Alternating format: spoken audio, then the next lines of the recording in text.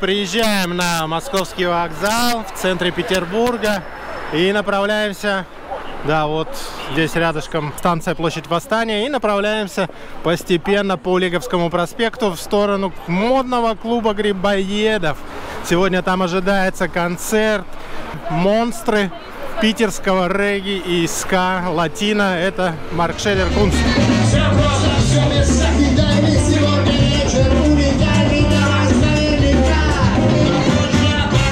По пути как раз таки в клуб грибоедов можно наткнуться на фиш-фабрик и заглянуть сюда. Фиш-фабрик также известен своей монстрозностью, так скажем.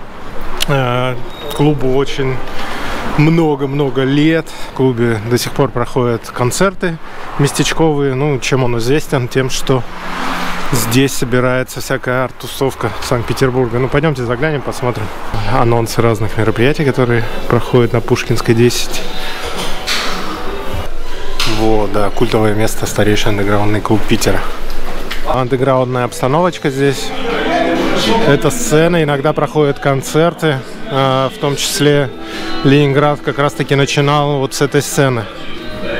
Знаменитое место. Даже не верится, что мы сейчас вышли свернули с Лиговского проспекта и оказались в этом артистическом месте. Это был некогда сквот. На самом деле сегодня здесь очень много разных ателье художественных. Там выставки проходят, школа диджеинга.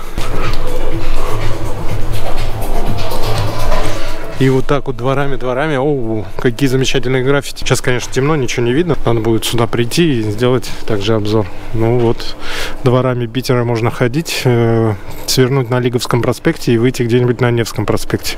Ну а мы двигаем в клуб грибоедов, о нем чуть позже. Из переулка выезжает трамвай просто. И поехал дальше по Лиговскому проспекту.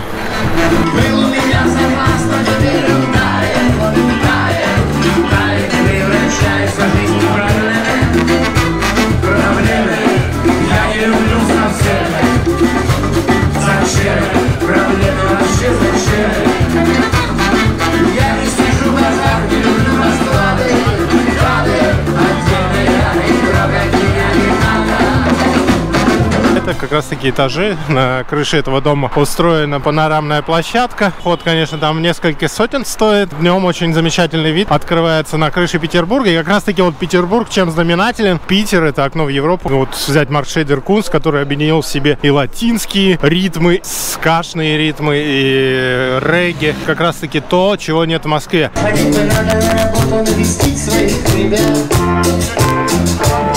Всех угостить и считать, потому что еще они они умеют жить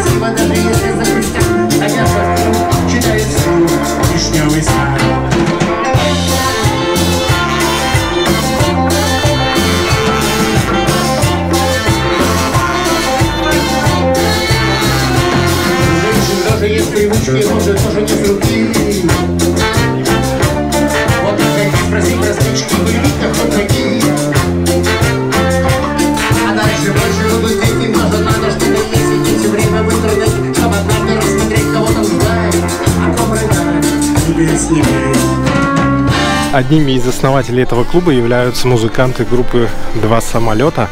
А, вот, они были идейными вдохновителями и как раз-таки придумали название «Модный клуб грибоедов». Не Достоевский, а Грибоедов. Ну да, Грибоедов тоже был в Петербурге, почему бы и нет. Интересное вообще название, честно говоря, я так и не нашел. Почему в бывшем бомбоубежище расположился клуб, который назвали Грибоедов? Как это вообще возможно? Не знаю. в общем, не нашел я информации, интервью читал с эм, основоположниками клуба но ничего не нашел. Клубу уже за 20 лет. Сверху, конечно, уже террасу сделали. А так дети катались с крыши зимой на санках там. Вот так вот сейчас выглядит Грибоедов, разросся, построили сверху над бомбоубежищем террасу. И вот здесь также есть дополнительная сцена. И все концерты здесь проходят. 18 октября 27 лет концерт. Приходите. Зарядились летними битами, на месяц вперед согреты. Приходите тоже на концерты Макшейдер Кунс. Улицы уже опустели, все на Невский проспект свалили, потому что там уличные концерты, молодые группы, молодые неизвестные исполнители.